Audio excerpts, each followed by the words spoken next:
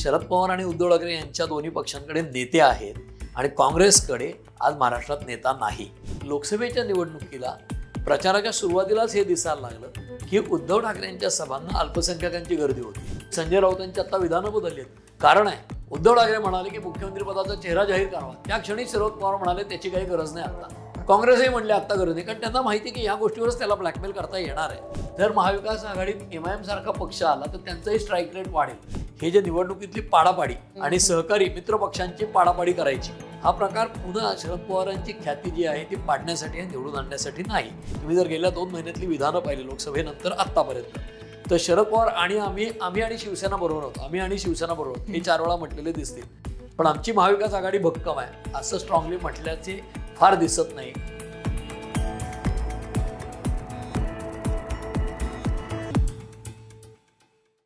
नमस्कार मित्रांनो द पॉलिटिक्समध्ये आपल्या सगळ्यांचं अगदी मनापासून स्वागत. आज आपल्यासोबत चर्चेला आहेत ज्येष्ठ पत्रकार आणि राजकीय विश्लेषक शैलेंद्र परांजपे सर सर स्वागत आहे तुमचं. नमस्कार.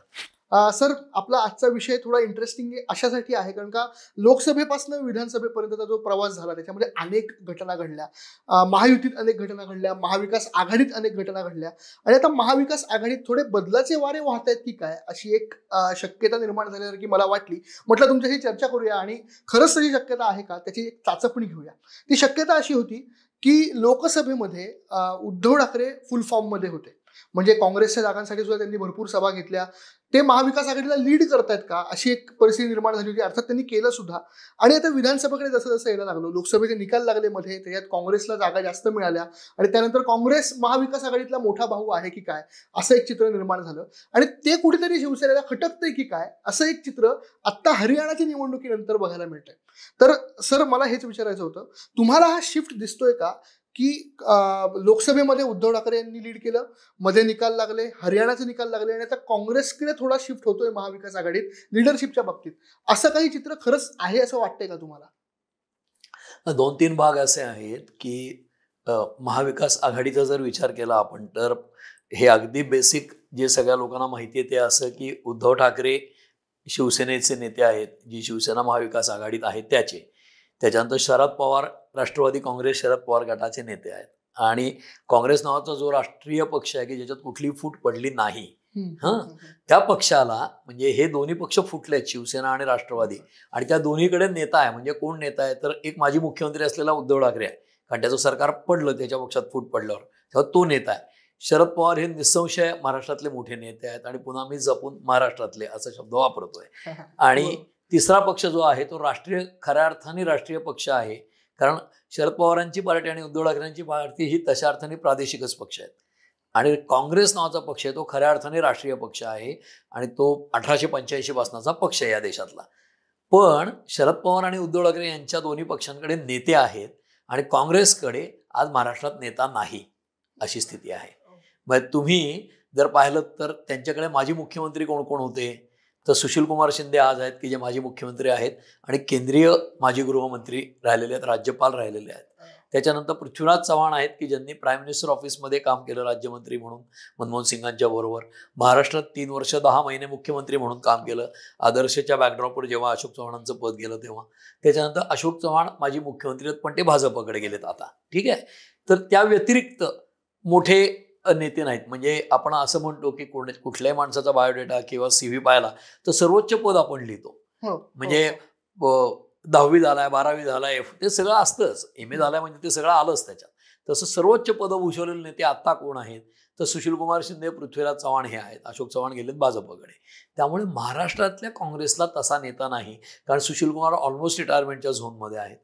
त्यांची मुलगी जी राज्यात होती आमदार दोन तीन चार वेळा ती आता केंद्रात खासदार झाली आहे त्याच्यानंतर आज पृथ्वीराज चव्हाण जे आहेत त्यांचं तीन वर्ष दहा महिन्याचं सरकार जे गेलं चौदा साले आणि फडणवीस राज्याचे मुख्यमंत्री झाले तेव्हा काँग्रेसच्या सर्व आमदारांमध्ये ही धारणा होती की पृथ्वीराज चव्हाणांमुळे सरकार गेलं. त्यामुळे जेव्हा फडणवीसांचा शपथविधी झाला मला आठवणीप्रमाणे दहा अकरा बारा नोव्हेंबर म्हणजे एकतीस ऑक्टोबरला मला वाटतं शपथ घेतली फडणवीसांनी चौदा साली. आणि नोव्हेंबरच्या सेकंड वीकमध्ये जो विश्वासदर्शक ठराव पास केला फडणवीसांनी तीन दिवसाचं अधिवेशन घेऊन. त्यावेळेला पृथ्वीराज चव्हाण जे आले विधानसभेत तेव्हा मला वाटतं त्यांचे एक्केचाळीस आणि राष्ट्रवादीचे चाळीस आमदार होते. त्यावेळेला चौदाच्या निवडणुकीनंतर त्यात तीन दिवसात पृथ्वीराज चव्हाणांशी काँग्रेसचा एकही आमदार बोलत देखील नव्हता.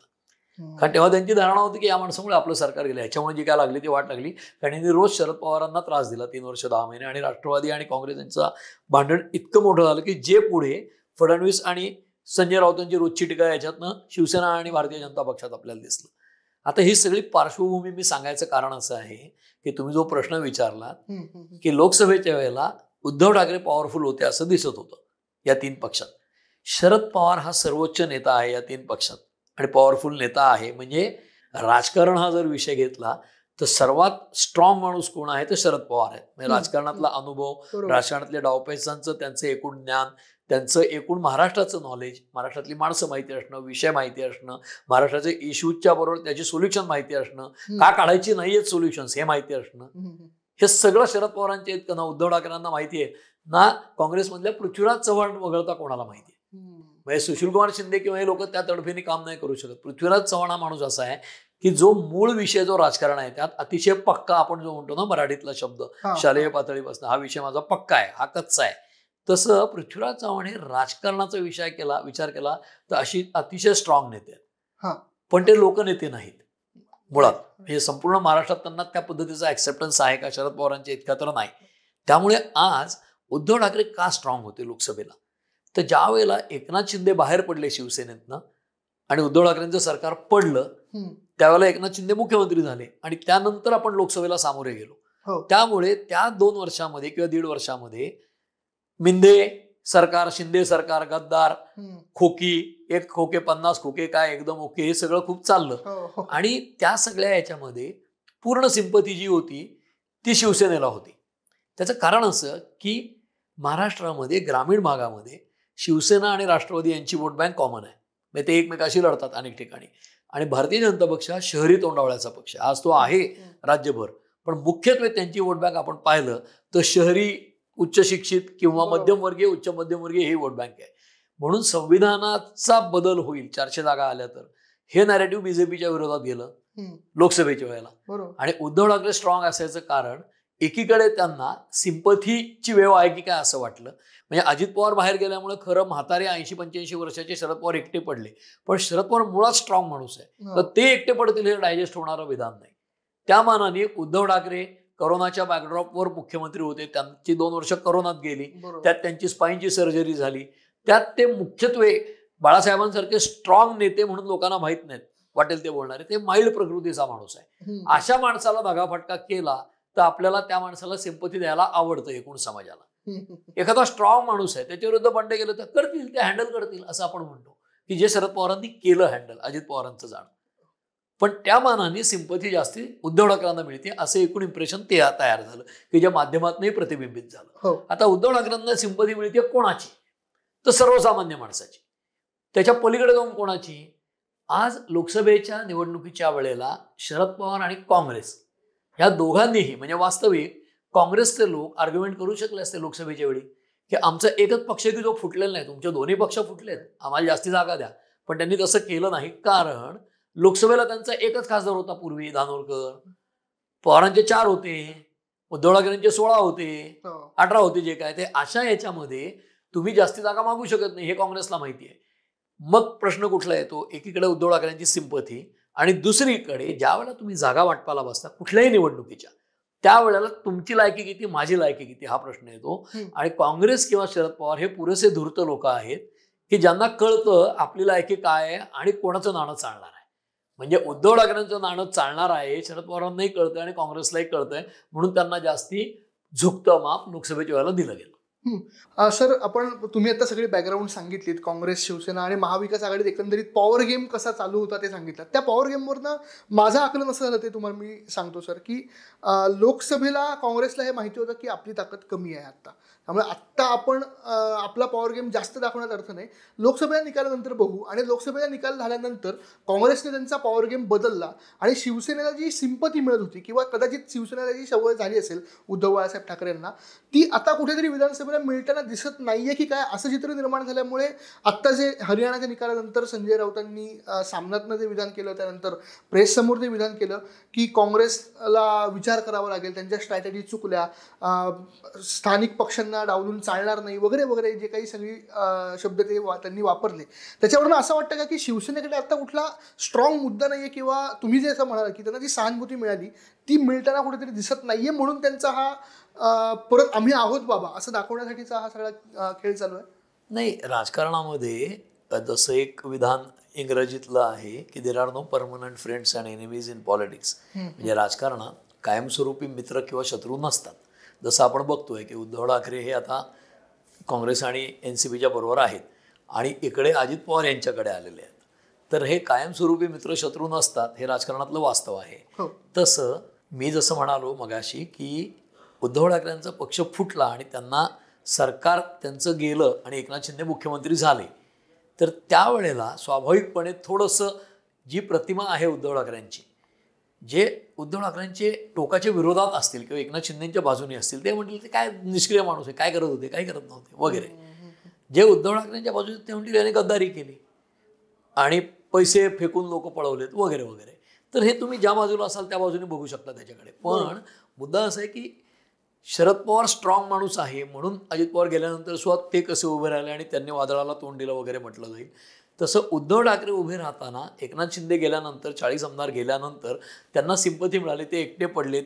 त्यात त्यांचे हेल्थचं रिझन आहे. अशा वेळेला जगे ते आणि ते त्यांनी भाटल्यानंतर म्हटले अनेक वेळेला उद्धव ठाकरे की अशा परिस्थितीत मी बेडरिडन असताना यांच्या डोक्यात कट चालला होता. हां? तर या पद्धतीचं नॅरेटिव्ह होतं. त्याच्यापेक्षा आणखीन एक गोष्ट अशी झाली की काँग्रेसला हे माहिती होतं वगैरे नाही. काँग्रेसची लोकसभेच्या निवडणुकीला सामोरं जाताना जर आधी एकच खासदार असेल तर तुम्ही कशाच्या जीवावर जास्ती जागा मागणार? जागा वाटणार म्हणून अपर हँड जो होता तो ऑब्व्हियसली उद्धव ठाकरेंना होता.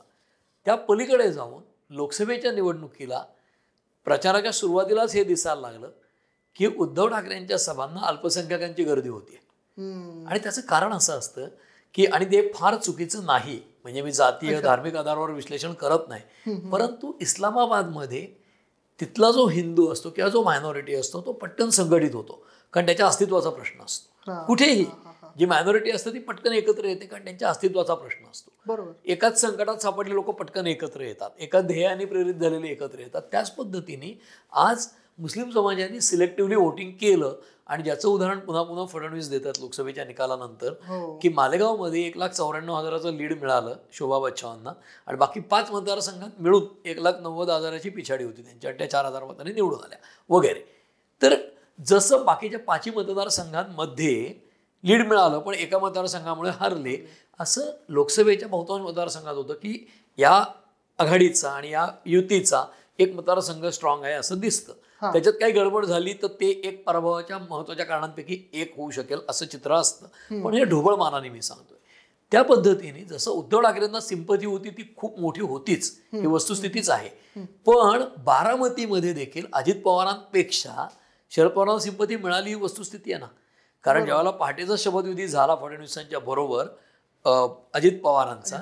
त्यावेळेला म्हणजे नोव्हेंबर एकोणीसमध्ये त्यावेळेला बारामतीमध्ये लागलेली पोस्टर्स किंवा फ्लेक्स हे इक्वली दोघांचे होते. म्हणजे अजित पवारांचं फॉलोइंग तेवढंच आहे. अजित पवार हे विक्रमी मतांनी निवडून येतात तिथे आमदारकीला.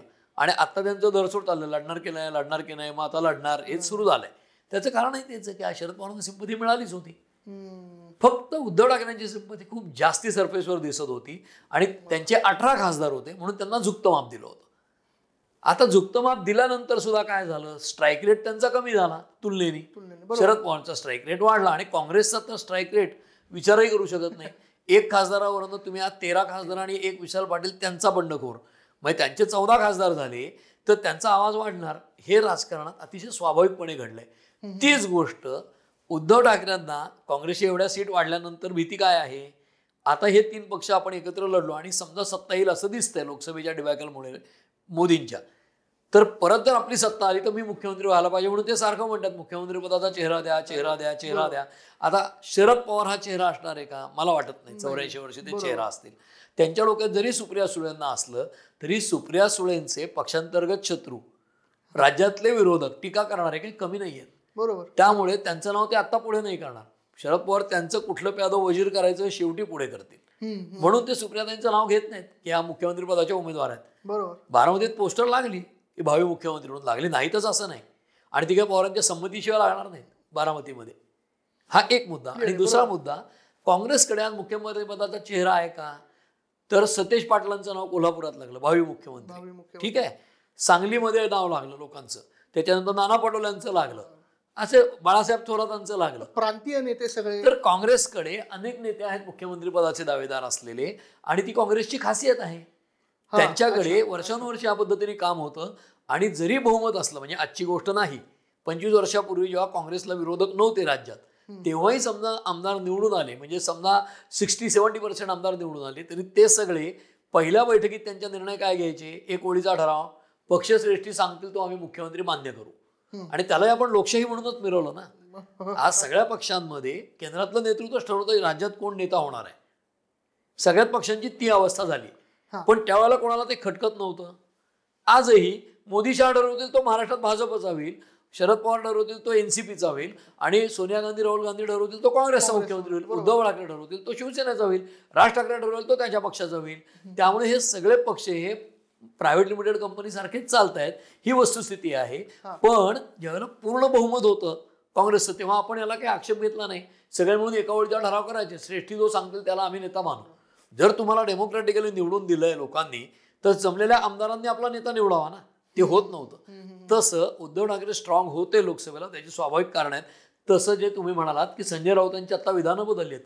कारण आहे उद्धव ठाकरे म्हणाले की मुख्यमंत्री पदाचा चेहरा जाहीर करावा. त्या क्षणी शरद पवार म्हणाले त्याची काही गरज नाही आता काँग्रेसही म्हणले आता गरज नाही. कारण त्यांना माहिती की या गोष्टीवरच त्याला ब्लॅकमेल करता येणार आहे. आणि आता जाईल कुठे? उद्धव ठाकरे जाईल कुठे? आपल्याबरोबर राहावं लागेल. फरफड होणार आहे. आणि उद्धव ठाकरेंनाही हे दिसतंय की जे मायनॉरिटीज त्यांच्याबरोबर राहिल्या लोकसभेला त्या प्रमाणात राहत नाहीत. कारण लोकसभा हा मोठा मतदारसंघ असतो. तुलनेने वीस लाखाचा मतदारसंघ आता तीन लाखावर येतो. तर त्या त्या मतदारसंघात चित्र वेगळं आहे. त्यामुळे आता नव्याने एम आय एम येऊ पाहत आहे महाविकास आघाडीत. ते काय म्हणतात अठ्ठावीस जागा आम्हाला द्या तर आम्ही आघाडीत येतो. जर महाविकास आघाडीत एम आय एम सारखा पक्ष आला तर त्यांचाही स्ट्राईक रेट वाढेल. कारण ती मुस्लिम नाजेडीच पार्टी म्हणजे नावातच ती मुसलमानांचीच पार्टी आहे. बरोबर. तसं जर असेल तर उद्धव ठाकरेंना हे स्पष्टपणे दिसतंय की एकीकडे हरियाणामध्ये संविधानाचं नॅरेटिव्ह चाललेलं नाही संविधान बदलणार मोदी आहे. बरं मोदी सत्तेवर येऊन पण काही काळ झालाय संविधान बदललेलं नाहीये शक्यताही दिसत नाही. आणि ती आणि दुसरी गोष्ट आज मागच्या वेळेला मी तुम्हाला एका आपल्या एपिसोडमध्ये टेक्नॉलॉजीचा महत्त्वाचा मुद्दा म्हणालो होतो. तसं आज राजकारणामध्ये टेक्नॉलॉजीमुळे आपल्या चॅनल्समुळे सोशल मीडियामुळे एक इश्यू खूप काळ चालतो असं होत नाही. म्हणजे बदलापूर असेल. बदलापूरची घटना ही महाविक महायुतीला मारक आहे आत्ताच्या सरकारला. त्यांच्या विरोधात जाणारी आहे. तेच शिवाजी महाराजांचा पुतळा पडला ही पण घटना आहे पण त्या घटना आता आपल्याला फार काळ लोटला नसला तरी खूप जुन्या वाटतात कारण टेक्नॉलॉजीमुळे आपला रोजचा दिवस नवीन आहे. त्यामुळे इश्यूज लवकर डायडाऊन होतात. तसंच उद्धव ठाकरेंची संपत्ती लवकर डायडाऊन झाली. आणि म्हणून ते मुख्यमंत्री पदाचा उमेदवार द्या चेहरा जाहीर करा चेहरा जाहीर करा असं उद्धव ठाकरे म्हणतात. तर असं कोणी म्हणेल का की ते संजय राऊतांचं नाव पुढे करतील? शक्यच नाही. त्यांच्या डोक्यात आपलंच नाव आहे. म्हणून ते आग्रह धरतात आणि हे ते नाकारतात दोन्ही पक्ष. आता ते नाकारतायत त्या काँग्रेसला ठेचण्याची संधी संजय राऊतांना मिळते हरियाणामुळे. एवढं सगळं होऊन तुम्ही हरलात ना हरियाणामध्ये. मग आता बघा आता बघा बघा तुम्ही बाकीच्यांना विश्वासात घेतलं नाही ते आमचं करू नका म्हणून ते परत सिंपतीत मिळवायचा प्रयत्न करतायत राज्यात. बाकी काही नाही. सर आता आपण राजकीय पातळीवर किंवा या पक्षांच्या पातळीवर विचार करत होतो. पण आत्ता मागे सुद्धा पॉलिटिक्सवर यावेळी या विषयावर चर्चा करण्यात आली काँग्रेस या मुद्द्यावर. त्यावेळी बऱ्याच विश्लेषकांचं म्हणणं होतं. मी जेव्हा आता महाराष्ट्र दौरा केला तिथे लोकांशी बोललो तिथेही लोकांचं असं म्हणणं होतं की जेव्हा पर्याय शोधत असतात लोक त्यावेळी अख्ख्या भारतीयांचा डीएनए हा काँग्रेसमध्येच सापडतो. म्हणजे काँग्रेसला सर्व म्हणजे सर्व राज्यव्यापी जरी चेहरा नसला प्रांतीय जरी चेहरा असला तरी लोक काँग्रेसच्या बाजूने आपसुक वळतात. म्हणजे जेव्हा आता बी जे पीला पर्याय काय? बी जे पीला आवडत नाही तर मग आपण कुणाकडे जावं? तर लोक काँग्रेसकडे आपसुक जाताना दिसतात. तर हा जो शिफ्ट आहे तो लोकांमुळेच झालेला शिफ्ट आहे असं वाटतं का तुम्हाला? म्हणजे तुमचं निरीक्षण काय? इतक्या वर्षांचं आणि आत्ता ह्या वर्षभरातल्या घडामोडी घडल्या त्याच्यावरचं. मी तुम्हाला अगदी सोप्या शब्दात सांगतो. म्हणजे कोणालाही समजेल सहज. फार कॉम्प्लेक्स विषयच नाही. त्याचं कारण असं की जसं आपल्या जेवणामध्ये पदार्थ असतात त्या कुठल्याही पदार्थाची चव काय आहे असं जर विचारलं तर बेसिक चवी किती आहेत? पाच चवी. पाच चवी बरोबर. गोड आंबट तुर- तुरट खारट काय ज्या पाच तिखट ज्या पाच चवी आहेत त्या. तर कुठलीही चव कुठल्याही पदार्थाची जगातल्या चव आपण घेतली तर ती या पाच चवीच्या आपण इकडे तिकडे फलक्रममध्ये शंभर टक्के गोड आहे का तिखट आहे का आंबट आहे का खारट आहे का तुरट आहे का याच्यात बसवता येते. तसं शास्त्र जे डेव्हलप होतं त्याच्यामध्ये निवडणुकीच्या संदर्भामध्ये आपल्या देशामध्ये आपण ज्याला आयडिओलॉजी म्हणतो सैद्धांतिकता म्हणतो. ते सैद्धांतिक या पक्ष जे आहेत ते कुठले कुठले आहेत? ढोबळमानाने डावे आणि उजवे आणि मधले. तर डावे आणि उजवेमध्ये कम्युनिस्ट लोक आणि संघाचे लोक म्हणजे एक डावे आणि एक उजवे असं ढोबळमानाने मानतात. तर ह्या लोकांकडे विद्वान लोक तुम्हाला खूप दिसतील. काँग्रेसमध्ये विद्वान नव्हते असं नाही. पण काँग्रेस त्या फलक्रममध्ये किंवा ज्याला बांधकामाच्या क्षेत्रातले लोक ते बिगारी वगैरे ओळंबा वापरतात. ओळंबा. म्हणजे फलक्रम झिरोला आणणे डावीकडे किंवा उजवीकडे न जाणे कुठल्याही गोष्टीचं संतुलन साधायला आपल्याला मध्यम मार्गे असावं लागतं. म्हणजे तो डावीकडे किंवा उजवीकडे जात नाही. जात नाही. तसं जर असेल तर डावीकडचे लोकही हुशार आहेत उजवीकडचे हुशार आहेत. पण ते एक्स्ट्रीम डावीकडे किंवा एक्स्ट्रीम उजवीकडे आहेत म्हणून सत्तेवर राहिले नाहीत. आणि काँग्रेसने खूप वर्ष राज्य केलं. कारण त्यांच्यामध्ये डावे पण आहेत उजवे पण आहेत. आज राम मंदिराला आमचं नाव सांगू नका म्हणत किंवा नाव सांगितलं तरी चालेल म्हणत लाखोनी पैसे देणारे काँग्रेसवाले आहेत ना. पण ते राजकीय सोयीसाठी राम मंदिराच्या बाजूनी ओपनली भूमिका घेऊ शकत नाहीत. सेम प्रत्येकाची पंचायत होते आयडिओलॉजीच्या ह्याच्यात अडकलं की म्हणून आज तुम्ही जे म्हणालात की भारतीय जनता पक्षाला किंवा नरेंद्र मोदींना पर्याय काय? तर लोक आपसूककडे काँग्रेसकडे वळतात का त्याचं कारण काय तर भारतीय जनता पक्ष हा उजव्या विचारसरणीचा पक्ष आहे. आणि डावा विचारसरणी असलेला मार्क्सवादी सगळीकडे विलयाला चाललाय किंवा कमी होत चाललाय. कारण मार्क्सवाद जागतिक पातळीवर थोडासा पराभूत झाल्यासारखं चित्र दिसतं आपल्याला. त्यामुळे डावे बंगालमध्ये खूप काळ सत्तेवर होते त्रिपुरात होते त्यांची सत्ता गेली केरळमध्ये आता आहे. ठीक आहे तर डाव्या विचारसरणीचं आकर्षण पूर्वी म्हणायचे लोक की तरुणाईमध्ये लोकांना ते आकर्षण असतं कारण ते व्यवस्थेविरुद्ध बंड करतं. आणि जसा माणूस वयाने मोठा होतो तसा कॅपिटलिस्ट व्हायला लागतो. अशा प्रकारचं एक विधान आहे. की ज्याचा अनुभव सर्वसामान्यांना येतो कारण ते तरुणाईचा जोश असतो जेव्हा ती बंडखोरी असते जेव्हा तुम्ही घर चालवायला लागता तेव्हा अरे हे काही इतकं सोपं नाही. तसं आज भारतातल्या लोकांना जो पर्याय कुठला असेल जर ते भाजपला कंटाळले तर काँग्रेसच राहतो. मग काय होतं? प्रादेशिक पातळीवरचे छोटे छोटे पक्ष त्या त्या राज्यात येतात. जसं केजरीवाल आले फार पूर्वी आसाम गण परिषद आली बरोबर. साऊथमधले पक्ष आले म्हणजे तेलुगू देशमसारखा पक्ष असेल किंवा डीएमके आणि A I D M K असतील. ते देशव्यापी पक्ष होऊ शकत नाहीत कारण ते तमिळनाडूतलं फेनॉमेना नाही बरोबर. त्याच पद्धतीने आज लोकांना देशव्यापी कुठला ऑप्शन असेल तर तो काँग्रेस आहे आणि भारतीय जनता पक्ष काही प्रमाणात देशव्यापी पक्ष म्हणायला हरकत नाही. अशी स्थिती आहे. महाराष्ट्रापुरतं म्हणाल तर शरद पवारांचा पक्षही राष्ट्रीय मान्यता घालवून बसलाय. हो. पण तो राष्ट्रीय पक्ष होता का खऱ्या अर्थाने? कधीच नव्हता. म्हणजे महाराष्ट्र वगळला तर काय ते गुजरातमध्ये इलेक्शन लढले होते अनेक राज्यात लढले असतील. पण त्यांना कोणी राष्ट्रीय पक्ष म्हणून मान्यता देतं का? शरद पवार माहिती आहेत का लोकांना? माहिती आहेत. दहा वर्ष केंद्रात मंत्री होते आधी डिफेन्स मिनिस्टर होते. ते माहिती आहेत लोकांना पण त्यांचा पक्ष राष्ट्रीय पक्ष आहे का? तशा अर्थाने नाही. शिवसेनेचा पक्ष राष्ट्रीय आहे का? बिलकुल नाही. प्रादेशिकच पक्ष आहे. म्हणून राष्ट्रीय पातळीवर जसं त्या त्या राज्यातले हरियाणा विकास पार्टी पण आहे. पण चौतालांचा पक्ष हा राष्ट्रीय पक्ष नाही. मुलायम सिंगांची पार्टी समाजवादी पार्टी जी आहे त्यांचा मुलगा अखिलेश आज आहे. तो राष्ट्रीय पक्ष आहे का? महाराष्ट्रात अबू आझमी आहेत समाजवादी पक्षाचे. पण त्या पक्षाचं स्थान काय महाराष्ट्रात? बरोबर. त्यामुळे राष्ट्रीय पातळीवर काँग्रेस आणि भारतीय जनता पक्ष हे दोन असल्यामुळे जेव्हा लोकसभेला जाताना सुद्धा निवडणुकीला काहीही जरी परिस्थिती असली तरी प्रमुख विरोधी पक्ष हा काँग्रेसच राहील. राहुल गांधीचं नेतृत्व सगळ्यांना मान्य होतं. भले त्यांना यांनी पप्पू म्हणून डिस्कार्ड केलं असेल भारतीय जनता पक्षाने सोशल मीडियातनं हो.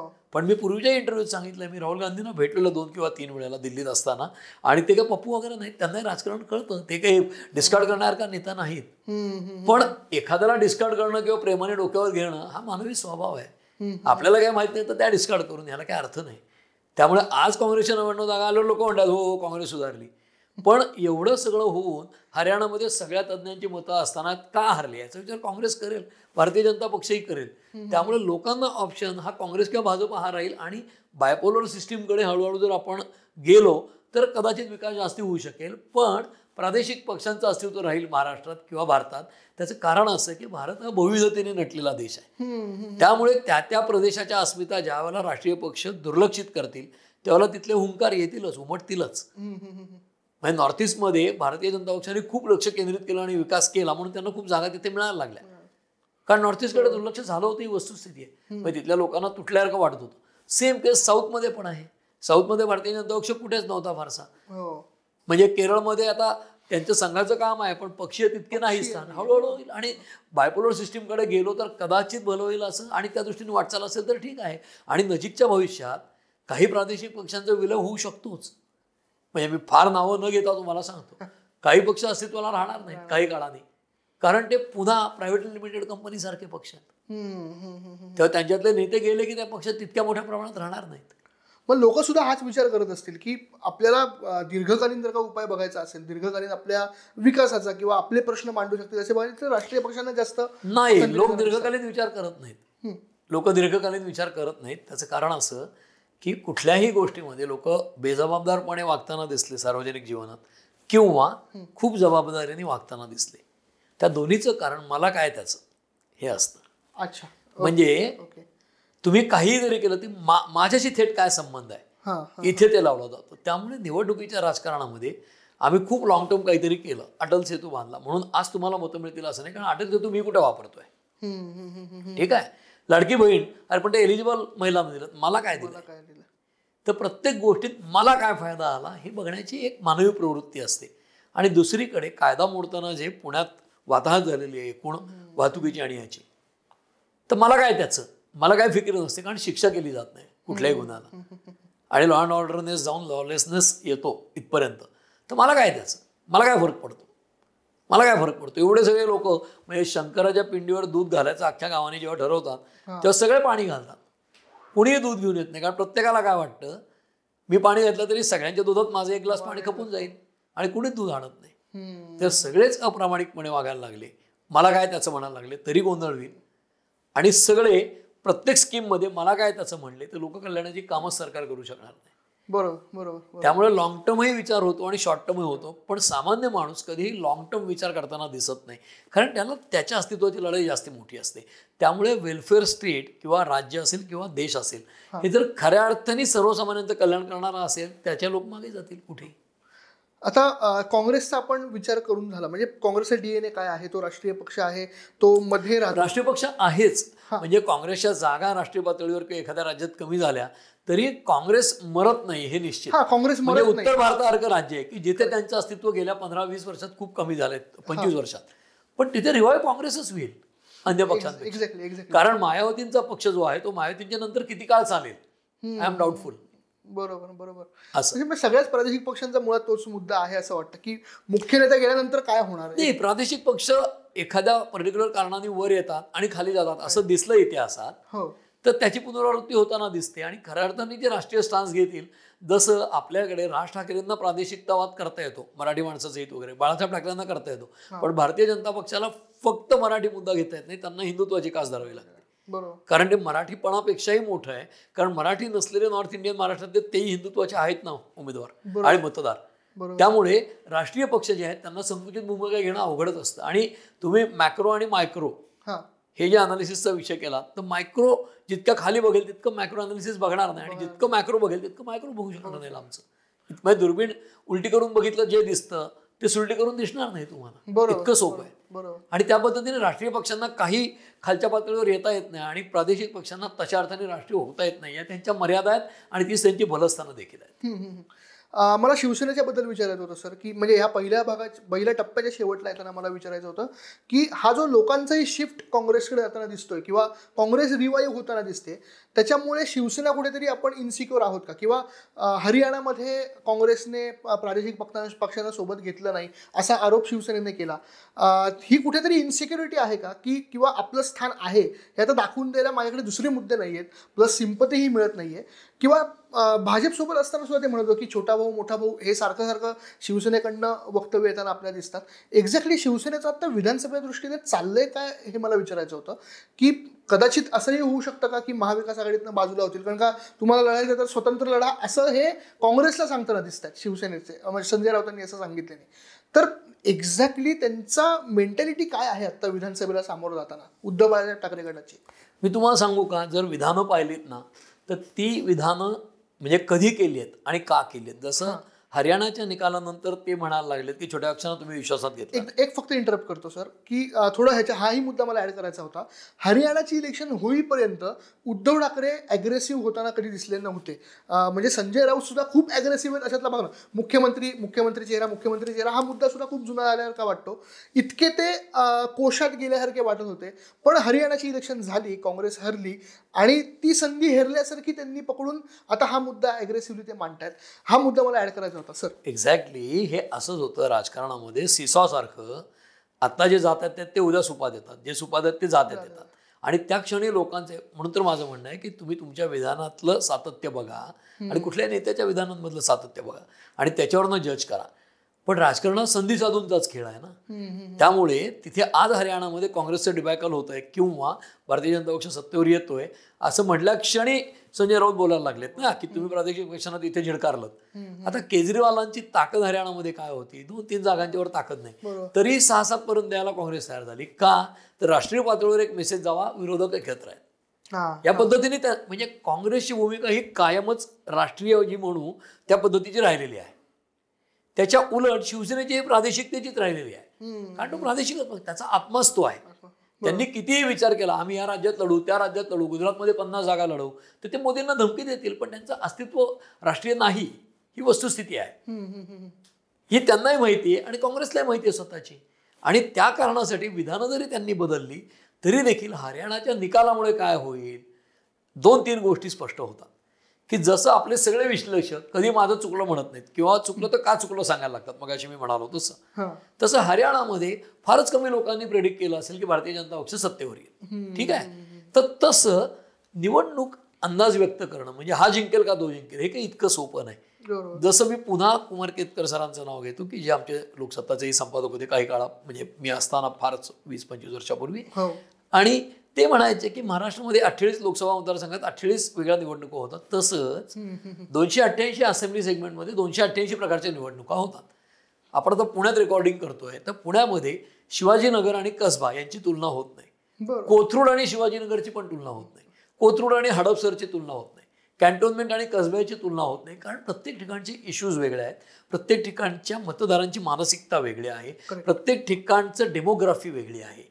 प्रत्येक ठिकाणच्या रस्त्यांची कंडिशन वेगळी आहे. प्रत्येक ठिकाणी पाऊस हडपसरला पडला तर कसब्यात पडत नाही इतकी पण आता परिस्थिती वेगळी दिसायला लागली हो हो. असं जर असेल तर आपण एकच नियम किंवा एकच यार्डस्टिक त्या सहा आठी दहाही मतदारसंघांना कशी लावून चालेल.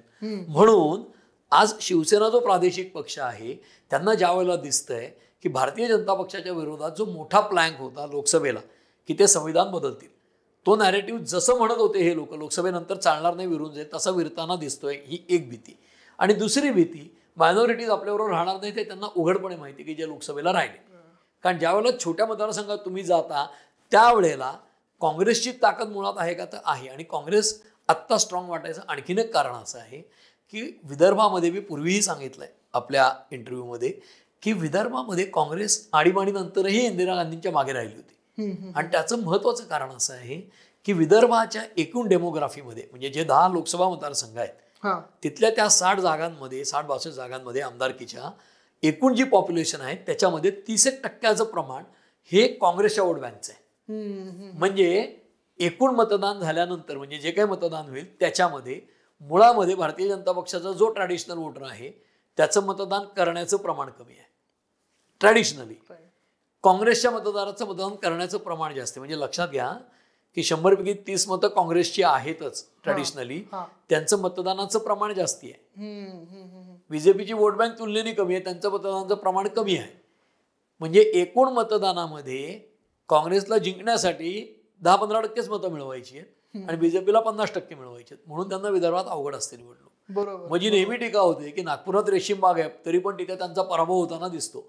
रेशीमबाग आहे पण मतदारांचं काय? त्यांच्या population मधल्या जातवार विभागनिहाय आणि केंद्रनिहाय population मधलं त्या त्या घटकांचं प्रमाण काय? हे जर मार्काईंनी पाहिलं तर भारतीय जनता पक्षाला विदर्भामध्ये कायमच निवडणूक इतकी सोपी नाही. हो हो. म्हणजे मी अवघड आहेच. म्हणून खूप मोठे बलाढ्य नेते समजल्या गेलेल्या गडकरींना गल्लीबोळात फिरावं लागलं नाही म्हटले फिरणार तरी. त्याचं ते कारण आहे. म्हणजे ते कमी आहेत किंवा त्यांचं कर्तृत्व कमी आहे हा अर्थ नाही आहे. निवडणूक ही अवघडच असते कुठलीही. पण ती भारतीय जनता पक्षाला विदर्भात जास्ती अवघड आहे. आणि विदर्भातच शिवसेनेलाही बऱ्यापैकी बॅकिंग मिळायचं. आज काँग्रेस लोकसभेच्या निवडणुकीनंतर जेव्हा तेरा जागा येतात आणि एक अपक्ष धरून चौदा. त्यावेळेला जेवढं बीजेपीचं धाबं दणाणतो विदर्भात. तितकं शिवसेनेचं दणाणतो ओव्हरऑल महाराष्ट्रात. कारण विदर्भातच जर साठ पासष्ट जागांपैकी जर तीस पस्तीस जागा चाळीस जागा जिंकण्याच्या स्थितीत काँग्रेस आली तर बाकी सगळ्या चार पाच विभागांमध्ये मिळून म्हणजे अमरावती आणि नागपूर हे विभागीय कार्यालय सोडली. तर उरलेल्या पाच विभागीय कार्यालयांमध्ये काँग्रेसला पन्नास साठ मिळवलं तर ते शंभरकडे जातात. हम्म. हे लक्षात घ्या. बरोबर बरोबर. ही म्हणजे म्हणजे शिवसेनेचं धाबड दणाणलंय त्याचं मुख्य कारण ते आहे. आणि फक्त बाळासाहेब थोरात त्या दृष्टीने लॉजिकली बोललेत की पुढचा मुख्यमंत्री काँग्रेसचा. त्याचं कारण तो मोठा पक्ष होऊ शकतो. त्यांना भीती कोणाची आहे? हे सोनिया गांधी राहुल गांधींपासून सगळ्यांना माहिती आहे की दोन हजार चारच्या निवडणुकीत जेव्हा वाजपेयी पंतप्रधान होते आणि महाराष्ट्रात त्यांचं सरकार नव्याण्णव ते दोन हजार चार निवडून आलेलं होतं. तर चारच्या निवडणुकीमध्ये महाराष्ट्रामध्ये शरद पवारांनी तेवीस जागांवर तेवीस जागांवर बंडखोर उभे केले होते आणि काँग्रेसचे उमेदवार पाडले होते. म्हणजे साधं गणित असं आहे. हे जे निवडणुकीतली पाडापाडी. आणि सहकारी मित्र पक्षांची पाडापाडी करायची हा प्रकार पुन्हा शरद पवारांची ख्याती जी आहे ती पाडण्यासाठी निवडून आणण्यासाठी नाही. कारण ती जर असती तर त्यांनी त्यांचे पंधरा वीस चाळीस खासदार आणले असते ते कधीच आणलेले नाहीत. सर्वाधिक आठ नऊ जे काय आले ते आहेत. म्हणजे डबल डिजिटमध्ये खासदार ते आणू शकलेले नाहीत. इतके बलाढ्य सोकॉल्ड नेते असून. म्हणून मी सुरुवातीला त्यांचा उल्लेख महाराष्ट्रातील इन मोठे नेते असं म्हणालो होतो. तर ती त्यांची ताकद नसल्यामुळेच आज लोकसभेला ते नेत आणू शकत नाहीत निवडून. आणि ते सगळं विचारात घेतलं तर शिवसेनेला हे पक्क माहिती आहे की जी काही आपली ताकद लोकसभेच्या वेळी होती किंवा जे इम्प्रेशन होतं ताकद असल्याचं ते दोन्ही गोष्टींमुळे कमी झालंय. संविधानाचं नॅरेटिव्ह तितकंसं चालत नाहीये जे हरियाणात स्पष्ट झालंय. दुसरीकडे अल्पसंख्य जी मतं आहेत ती एकगठ्ठा आपल्या पाठीशी राहतील अशी शाश्वती नाही. आणि त्यात शरद पवार जी पाडापाडी करतील त्याची मी तर काँग्रेस आणि शिवसेना दोघांना आहे. म्हणूनच तुम्ही जर गेल्या दोन महिन्यातली विधानं पाहिली लोकसभेनंतर आत्तापर्यंत तर शरद पवार आणि आम्ही आम्ही आणि शिवसेना बरोबर आहोत आम्ही आणि शिवसेना बरोबर आहोत हे चार वेळा म्हटलेले दिसतील. पण आमची महाविकास आघाडी भक्कम आहे. असं स्ट्रॉंगली म्हटल्याचे फार दिसत नाही. कारण काँग्रेस हे बार्गेनिंगच्या बाबतीत अतिशय टफ नट किंवा स्ट्रॉंग आहेत बार्गेनिंगला हो हो हो म्हणजे शरद पवार यांनी फार पूर्वी दोन हजार चारच्याच निवडणुकीनंतर त्यांचे एकाहत्तर आत्तापर्यंतचे सर्वाधिक आमदार आले आणि एकोणसत्तर काँग्रेसचे आले. म्हणजे जास्ती जागा लढवल्या होत्या काँग्रेसने. काँग्रेस पण त्यांच्या ज्या तेवीस पाडल्या होत्या पवारांनी अपक्ष उभे करून बंडखोर जे त्यांचेच होते बाहेर जाऊन लढले तिथे जागा वाटपात काँग्रेसची जागा आहे. जसं आज इंदापूरमध्ये जागा वाटपात जागा अजित पवारांकडे जाणार आहे. म्हणून हर्षवर्धन पाटील गेलेत शरद पवारांकडे. दुसरं काहीच कारण नाही. कारण ते भाजपबरोबर राहिले तर ती जागाच भाजपच्या वाटपाला येणार नाही. अशा प्रकारचे आपलेच लोक शरद पवारांनी बाहेर पाठवून ते निवडून आणले होते. बंडखोर म्हणून काँग्रेसला मदत न करता. आणि मग त्यांचे एकाहत्तर आणि काँग्रेसचे एकोणसत्तर होऊन देखील त्यांनी मुख्यमंत्रीपद दिलं होतं काँग्रेसला. तेव्हा अहमद पटेल आणि प्रणव मुखर्जी रोज येऊन शरद पवारांची चर्चा करायची आणि प्रफुल्ल पटेलांची. आणि ते मी सांगत होतो की शरद पवारांचं तेव्हा एक विधान तुम्ही काढून बघू शकता चार साली. की आमचा पटेल एक वेळा दहा वेळा पटेल. पण त्यांचं पटेल पटेल तर शपथ. म्हणजे कोण? अहमद पटेल. तर अहमद पटेल अजिबात बार्गेनिंगला टफ होते ऐकायचेच नाहीत. हे पवारांनी अनुभव घेतलाय. आता अहमद पटेल गेलेले असले तरी मूळ काँग्रेस तीच आहे की ज्यातनं शरद पवार स्वतः बाहेर पडले बरोबर. त्यामुळे काँग्रेस बार्गेनला टफच असणार आहे जेव्हा त्यांचे चौदा खासदार आहेत. बरं तुम्ही दोन्ही पक्ष फुटलेले आहात. आमचे चव्वेचाळीस आमदार काय आहे या सगळ्या बॅकग्राऊंडवर ते जागा वाटपाच्या वेळेला त्यांचा हात पिरगळता येईल का? ते येणार नाही हे शरद पवारांना माहिती उद्धव ठाकरेंना माहिती. म्हणून जे संजय राऊतांच्या विधानाचा तुम्ही अंगुली निर्देश केला की हवं तर त्यांनी स्वतंत्र लढावं असं ते का म्हणतात? तर काँग्रेस स्वतंत्र लढली तर जागा वाटपात शिवसेना आणि राष्ट्रवादीला जास्त जागा लढवता येतील. दुसरीकडे काँग्रेस यांच्याबरोबर राहिली तरी सुद्धा त्यांचा स्ट्राईक रेट जास्त असणार आहे हे देखील त्यांना माहिती आहे.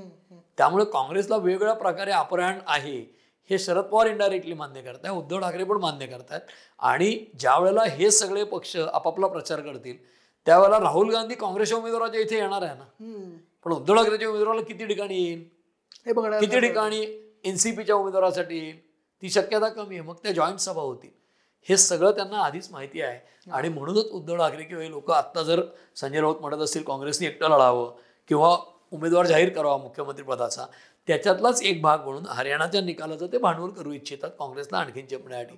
पण हरियाणामध्ये काँग्रेस डिस्कार्ड केली गेली नाही आहे तो नंबर दोनचा मोठा पक्ष आहेच तिथे. वायपआउट झालेला नाहीये लँडस्लाईड विक्ट्री नाहीये बीजेपीची ती. आणि ते बरोबरच आहे. म्हणूनच राष्ट्रीय पातळीवर काँग्रेस आणि भाजप हेच दोन मोठे पक्ष असणार आहेत. डायरेक्टली इनडायरेक्टली सगळीकडे. त्या दिशेने ही वाटचाल असेल तर ते कदाचित देशाच्या विकासासाठी पण सूचना असू शकेल. सर पटकन एक मनात आला म्हणून म्हणजे हा विचारलाच पाहिजे असा काही प्रश्न नाहीये पण तरी सुद्धा शिवसेना बाहेर पडू शकते मवियातनं? नाही. शक्यता आहे तशी? त्याच्यामध्ये कसं आहे सुबह का भुला शाम को घर लौट आहे तो भुला नाही कहते ही जी हिंदीतली म्हण आहे. काय असतं त्याच्यामध्ये? ही जी व्यक्तिगत अहंकाराची युद्ध आहेत. म्हणजे मी पूर्वीही सांगितलंय की मी त्या जोड्या दहा पंधरा जोड्या आहेत महाराष्ट्रात की ज्यांच्या व्यक्तिगत अहंकारातनं या सगळ्या लढाया सुरू आहेत आणि त्यातनं महाराष्ट्राच्या राजकारणाचं जे काय झालंय म्हणजे तुम्ही त्याचं कडबोळं म्हणा फ्रूट सॅलड म्हणा विचका म्हणा जे काय असेल ते झालंय. तर त्याच्यामध्ये उद्धव ठाकरे विरुद्ध देवेंद्र फडणवीस. बरोबर. देवेंद्र फडणवीस विरुद्ध शरद पवार. अजित पवार विरुद्ध सुप्रिया सुळे अजित पवार विरुद्ध शरद पवार. उद्धव ठाकरे विरुद्ध राज ठाकरे. उद्धव ठाकरे विरुद्ध एकनाथ शिंदे. या या जोड्या समोर आणल्या तर त्यांची अहंकाराची युद्ध चालू आहेत आज वेगळ्या पातळीवर. आज गेल्या दोन वर्षात कधी नाही इतका भारतीय जनता पक्षाचा एखादा नेता महाराष्ट्रात विलन झालाय तो म्हणजे देवेंद्र फडणवीस. गेली दोन वर्ष त्यांच्या बदनामीचं जे काही प्रयत्न ते चालू आहेत सगळीकडनं. आणि त्याच्यामध्ये जरांगेचे रोज शिवाय त्यांना देत होते. आत्ता एक या आठ दिवसात फार आल्या नाहीत पेपरात. पण ते रोज देत होते. पण ती स्ट्रॅटेजी असू शकते इव्हन शरद पवारांची. मध्ये श्याम मानव उठले आणि त्यांनी फडणवीसांवर आरोप केले. श्याम मानवांचा काय राजकारणाशी संबंध आहे. अनिल देशमुखांनी मला असं सांगितलं की फडणवीसांनी त्यांच्याकडे एक माणूस पाठवला होता वगैरे वगैरे. असलं काहीतरी होतं आरोप. म्हणजे खरं तर त्यात फार काय अर्थ नाही आहे एनी बीनी सीला कुठेतरी पाठवलं तर डी सांगत होता वगैरे वगैरे. पण त्या हेडलाईन झाल्या. आणि फडणवीसांची बदनामी झाली काही प्रमाणात. पण अशा प्रकारे केलेली टीका टिकत नाही आणि राजकारणामध्ये हे पेशन्स ठेवावे लागतात. शरद पवार पण पेशन्सला पक्के आहेत. म्हणजे जे इंग्लिशमध्ये आहे ना की आधी कोण ब्लिंक करतं? पापडी कोण लवू देतं? तो खेळ शरद पवार आणि फडणवीसांचा चालू आहे गेले पाच दहा वर्ष. बरोबर शरद पवार विरुद्ध देवेंद्र फडणवीस युद्ध. शरद पवारांचे लक्षात आलंय. समोरासमोर लढायला मला प्रॉब्लेम येतो कारण त्यांच्या कॅरेक्टरला प्रॉब्लेम नाहीये. त्याच्यानंतर त्यांच्यावर भ्रष्टाचाराचा आरोप होत नाहीये. मग जरांगींना सोडलंय श्याम मानवांना सोडलंय ठीक आहे. आणि पवारांचे वय झालंय. आणि फडणवीस देखील वेडवाकडं पवारांच्या विरुद्ध बोलताना कधीही दिसत नाही ते त्यांच्या पद्धतीनेच त्यांच्याशी खेळतात. खूप मोठे नेते खूप नेते म्हणत म्हणत म्हणत कच्ची करतात. आज वरांना फोडलंच आहे त्यांनी. त्यामुळे हे या अहंकाराचे युद्ध आहेत. त्यात तुम्ही जो प्रश्न विचारलात की ठाकरे परत जाऊ शकतात का तर त्यांची मूळ विचारधारा हिंदुत्वाची आहे. ती सोडल्यामुळे हे सगळं उद्भवलं आहे ना. त्यामुळे ते जाऊ शकतात जाऊ शकतात ते स्वाभाविक अलायन्सच आहेत जसं डावे उजवे मधले याच्यामध्ये उद्धव ठाकरे हे हिंदुत्व किंवा राज ठाकरे हे उजव्या विचारसरणीचेच लोक आहेत. त्यांची आयडिओलॉजी ते पूर्णपणे फेकून देतील अशी शक्यता नाही आहे. आणि ती फेकल्याचा तात्कालिक फायदा दिसला तरी दीर्घकालीन फायदा होत नाही लक्षात आल्यावर येतील असते. त्यांना त्यांना रास्ता कुठला असू शकतो? ते कम्युनिस्ट नाही होणार आहेत उद्या जाऊन. निधर्मी होणार नाही आहेत खऱ्या अर्थाने. मग आमचं हिंदुत्व अमक्याचं नाही आहे तमक्याचं आहे. शेंडी बळवायचं नाही आहे घंटा बळवायचं नाही वगैरे वगैरे. त्याला काही असं म्हणा तसं म्हणजे जीएसटीला सगळ्यांचाच पाठिंबा आहे. पण विरोधात असताना विरोध करतात. अशा जीएसटीला आमचा पाठिंबा नाही. अशा म्हणजे कशा? असं हिंदुत्वाला आमचा पाठिंबा नाही. वगैरे वगैरे. तर हे दाखवायच्या गोष्टी आहेत त्यांचा नॅचरल आलाय कोण तर बीजेपीच आहे. तर ते त्या फोनमध्ये आले तर आश्चर्य नाही. पण ते आले तर त्यांना खालच्या मानाने यायला लागेल. कारण आज मोदी तिकडे जिंकलेत. मग परत तो उपमर्द सुरू होईल का? रोजच्या रोज सासुरवाद सुरू होईल का?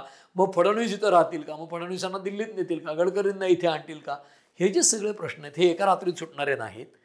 शक्यता आहे का? आहे. पण आज मी तिला तितक्या जोरात वाटत नाही. त्यांना फारच पतन दिसलं तर होईल पण लगेच मला वाटत नाही तसं होईल असं. बरोबर. तर सर आपण याच मोड नोटला आत्ता इथे थांबूया आणि मी आपल्या जाणकार प्रेक्षकांना एक आवाहन करतो पटकन आणि आपण इथे विराम घेऊया.